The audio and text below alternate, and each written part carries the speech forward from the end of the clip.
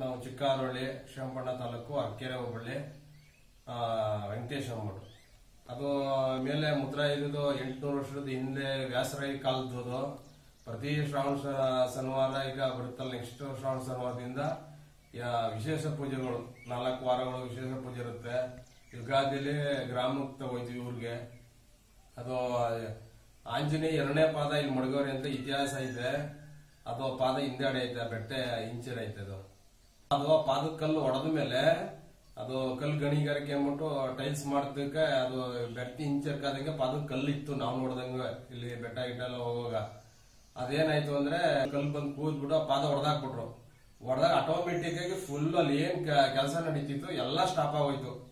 Immediate ಎಲ್ಲ stop ಆಗಿ ಅದು ಅಲ್ಲೇ ಬಿದ್ದದ ಇನ್ನೂ ಒಂದು ಒಂದ್ ಹತ್ತು ಹದಿನೈದು ವರ್ಷ ಆಯ್ತು. ಒಂದ್ ಕಲ್ಲು ಎತ್ತಕ್ಕಾಗಿಲ್ಲ ಇನ್ನೂ ಅವ್ರು.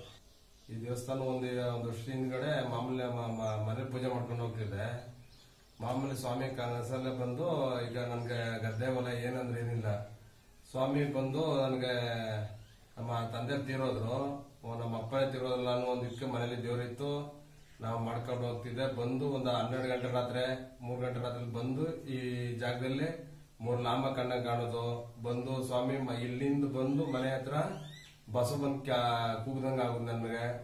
ರಾತ್ರಿ ಮೂರು ಗಂಟೆ ಜಾಗದಲ್ಲಿ ಯಾರು ಎಳ್ಸಿದ್ರೆ ಒಬ್ಬನೇ ಬಂದು ಇಲ್ಲಿ ಬರುದು, ಮೂರು ಲಾಮ ಬರೀದು, ನಾಲ್ಕು ಕಲ್ಲಿತ್ತು ಮಾಡ್ಬೋದು ಆ ಥರ ಮಾಡಿ ಊರಲ್ಲೆಲ್ಲ ನನ್ನ ಏಜ್ ಹುಡುಗರೆಲ್ಲೂ ಒಂದು ಗುಂಪು ಮಾಡಿದೆ, ಒಂದು ಸಂಘ ಕಟ್ಟಿದೆ ಕಟ್ಟ ಆದ್ಮೇಲೆ ಸ್ವಾಮಿಗೆ ಹಿಂಗೆ ಸ್ಥಾಪನೆ ಮಾಡಬೇಕು ಹಿಂಗಾಗದೆ ನಾನು ಸಹಾಯ ಮಾಡಿಕೊಡಿ ಅಂತ ಊರು ಜನ ಗ್ರಾಮಸ್ಥರು, ಯಜಮಾನರು ಎಲ್ಲ ಕೇಳ್ಕೊಂಡೆ. ಅವರೆಲ್ಲ ಸಪೋರ್ಟ್ ಕೊಟ್ಟರು ಬರೀ ಆರು ತಿಂಗಳಿಗೆ ದೇವರು ಸ್ಥಾಪನೆ ಆಯಿತು, ಅದು ಹೆಂಗಾಯ್ತು, ಎಂಟು ಲಕ್ಷ ಖರ್ಚಾಯ್ತು. ನಂಗೆ ಒಂದು ಗುಂಟೆ ಗದ್ದೆ ಇಲ್ಲ ಯಾರನ್ನೂ ಇದನ್ನು ಮಾಡಿಲ್ಲ. ಬಂದ್ ಅಂತ ಕೇಳಿ ಇಷ್ಟು ಸುತ್ತಮುತ್ತೂರಲ್ಲಿ ಹೆಲ್ಪ್ ಮಾಡಿಕೊಟ್ರು.